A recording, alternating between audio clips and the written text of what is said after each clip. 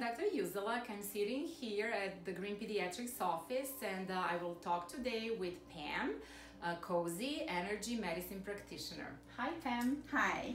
I would really like you to explain to us what is Reiki. Okay.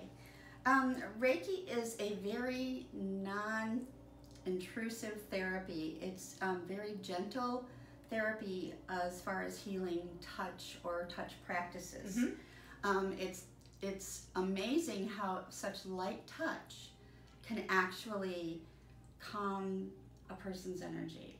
An energy medicine practitioner and a Reiki practitioner um, work together to do these kinds of things to bring the body into balance. But how does it work? Well, the, the, the principle of Reiki, I've been teaching it for almost 17 years now, and the principle of Reiki is basically um, the student learns how to focus on their energy, but also for the energy around us. And we kind of become, um, I want to say, like a conduit because it's very meditative. As a Okay. practitioner, I kind of go into like a meditative state, not a trance, nothing like that. Your body is almost 85% fluid and electromagnetic energy. Mm-hmm. And so by me working on someone, I've been trained and I train people to allow that energy to flow out their hands. We have many energy vortexes in our hands and that flows through our hands. Um, some practitioners you can feel heat, some you can feel coolness.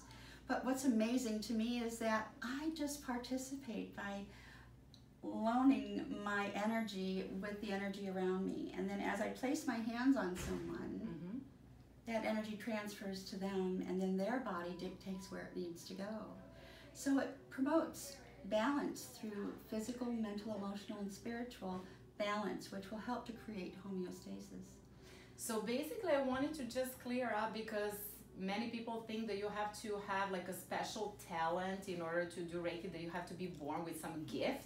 No. But anybody you mentioned, anybody can do Reiki when you're trained, right? I, I, I- like I said, I taught 17 years ago, I started teaching. And to my surprise, when I looked at the books, I've taught over a thousand people how to do Reiki. Um, and that's children from the age of three years old up to I think my oldest student is in her 80s. amazing. Um, there's not a lot to it. It is a two day class and it can be very spiritual for a person because it helps us to heal as well. But what I notice with children, when we do Reiki with children, it calms them down, it helps them to sleep, it can help them to have better focus, it can help them to relieve some pain, and we've even used it in sometimes to even help with conditions like constipation and things like that because the body relaxes. And so it gives the body the opportunity to have that natural flow. So you mentioned quite a few of the benefits of the Reiki, Yes. but can you kind of tell us? I know there's so much more to it. Yes. So who can benefit from a Reiki session? Oh my, okay. Everyone can benefit, but as saying that, I will also say some people may choose to not try Reiki because it's something they're just not interested in, Mhm. but they could benefit from it. Anyone can. Um, it can be very subtle to where it just relaxes you, or it could be very profound to where it relieves your pain. Um, I actually learned Reiki in the beginning because I used to suffer from migraines. And after all these tests, they couldn't really find anything wrong, and someone mentioned trying Reiki, and that's where I got started. I worked in the hospital, and I thought, well, that would be great for patients as well. But after my first class, from that day on, I never had another migraine, which was amazing to me. But it truly does help the body and the circulatory system to just relax. I know you have also a lot of oncology patients, right? Many. I've been working with cancer patients now for, I want to say, almost 15 years, and that can be profound. We have seen things from helping them to bring their white blood count back up. Mm-hmm. It takes their stress away, their fear, Mm-hmm. but it also helps them with nausea. Mm-hmm. And Which is big. it in- is huge. Chemotherapy. Absolutely. And so um, many times I've seen, especially after two or three days after a chemo treatment, they'll begin to what we call crash as far as they just ache all over and they feel really bad. And if I can either get to them or if they can come in and I'll give them a treatment, they just begin to pink up. They begin to relax, and the next thing I know, they're saying, I'm feeling so much better. But there's been documentation that blood pressure will change Mm-hmm. and that the white blood cell count actually sometimes will come up from that. So that is probably one group that we have seen a very profound results with. Um, and in many hospitals in many areas throughout the country, um, they do recommend for the oncology patients to receive Reiki to help de-stress them and make them feel safe. I think that's one of the biggest things. Pre and post operative is very well Yes. because it helps with minimal swelling. Mm-hmm. Um, but I think the biggest thing is just relaxation and feeling that they have some control because I can teach them how to do it as well. So, can you explain to me and to the audience also what is the difference between now Reiki and energy medicine? Because for the longest time I've been mixing it and saying like Reiki for everything, Yes. but it's so not that. No, it's not. Um, ironically, in one of my Reiki classes that I was doing, I went to buy some books for my students and I found this kit that said energy medicine, and I thought, oh my gosh, I, that sounds so intriguing. So I bought it. And then I got home, and the author of the book actually had sent a postcard, and there was one in the mail that she was going to be doing a seminar. So I looked at my husband and I said, I need to go. Mhm. Energy medicine, Eden Energy Medicine, is a practice to where um, one person by the name of Donna Eden had discovered that by taking many different um, therapies like Qigong and yoga and um, you know just many different holistic treatments and therapies, and she combined them and she started working with meridians, Mhm. which is our energy flow Mhm. um, acupressure points with the lymphatic system, neurovascular system. The difference between energy medicine and Reiki is Reiki is so subtle that I can actually just place my hand above you Mhm. And you can I can feel feel the warmth already. Okay. Yes. without touching. So for like AIDS patients, cancer patients, elderly, our skin gets very sensitive as we get older. So almost no touch and we can still feel that energy. But with energy medicine, we actually work on specific points. Okay. acupressure points, the meridians. I don't use needles, but I do do acupressure, and I can apply through different um, techniques a specific thing for different things in the body to correct um, energy issues. What I love about all of these things that we do is that they are not a cure-all and they are not to replace the medical community.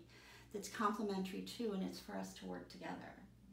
And that's where we see the most profound results.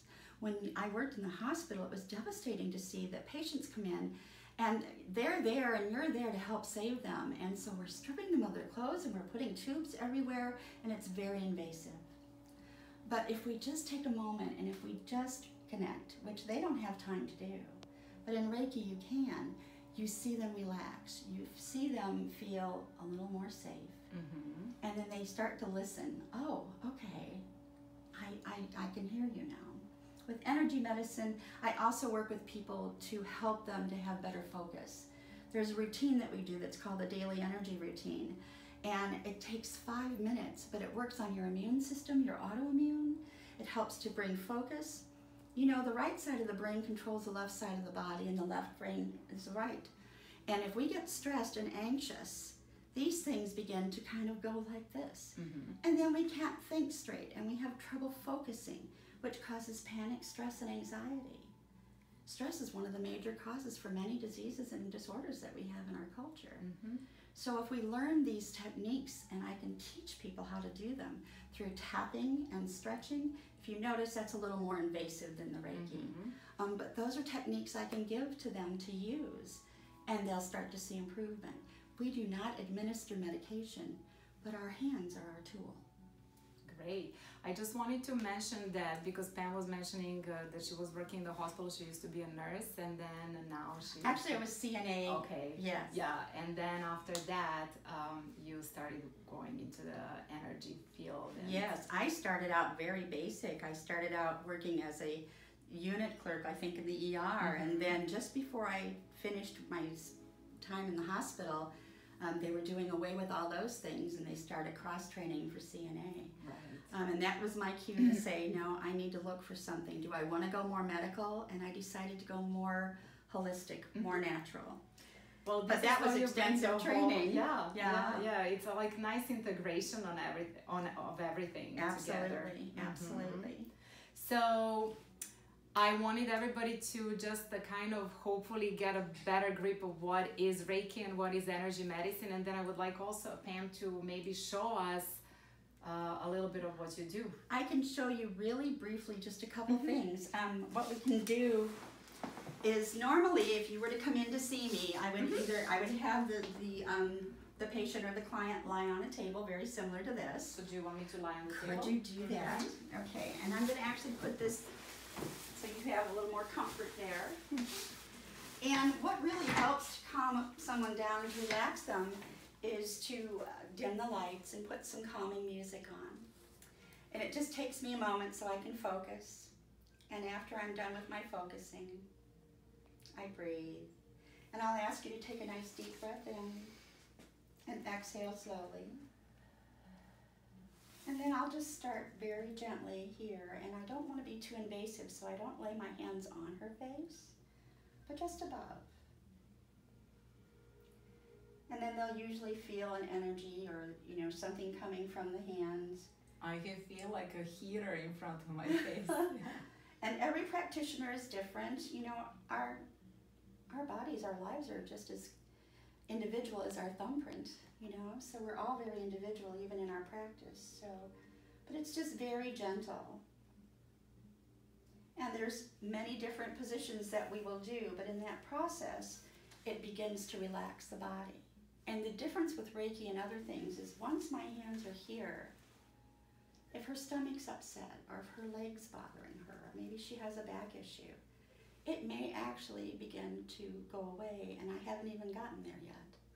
And that's because in the beginning of our talk, I said once this energy leaves my hands, it begins to enter the client's body, and then their body determines where they need it the most.